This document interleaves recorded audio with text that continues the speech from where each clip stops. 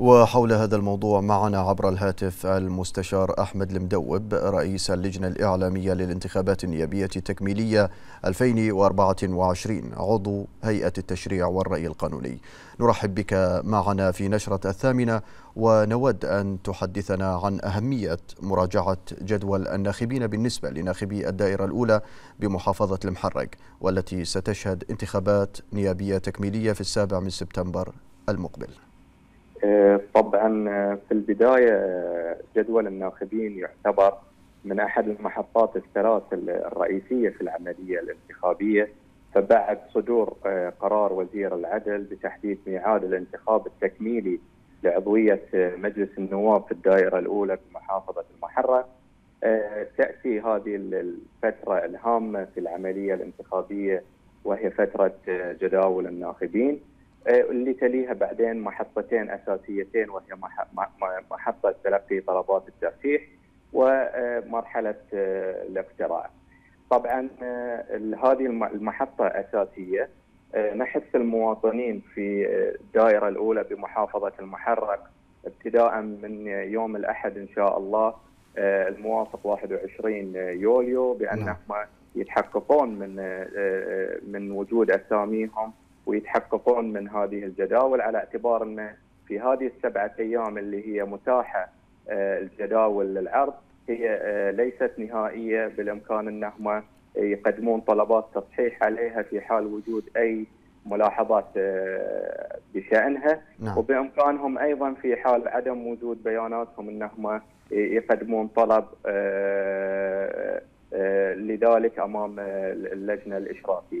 فهذه محطة أساسية ينبني عليها المحطات الأخرى فهي تعتبر الخطوة الأولى لضمان ممارسة الناخب لحقه الدستوري في الانتخاب وأيضا في حقه في الترشح نعم. في حال كان ينطبق عليه شروط المرشحين نعم المشرع لما أتاح هذه السبعة أيام أراد أنه يجعل من المواطنين شركاء في إعداد هذه الجداول وشركاء في يعني الرقابة عليها. نعم.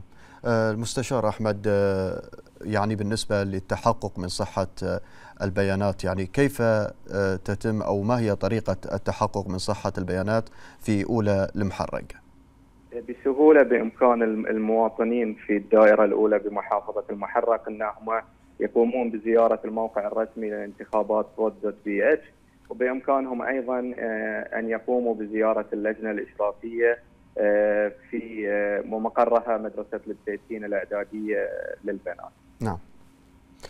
هل سيتم إتاحة طلب الاعتراض على البيانات وطلبات التصحيح إلكترونيا في الانتخابات التكميلية أيضا كما حدث في الانتخابات النيابية والبلدية السابقة؟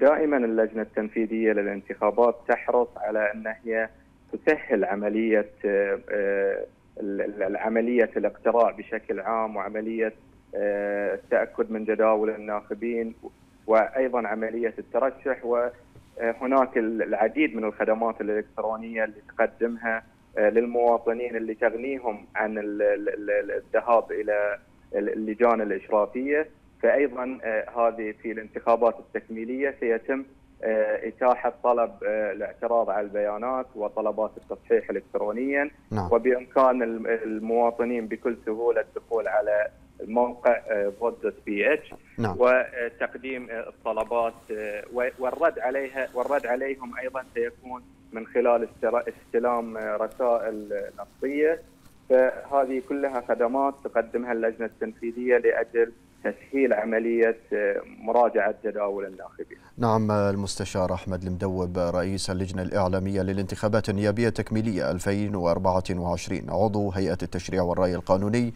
شكرا جزيلا لك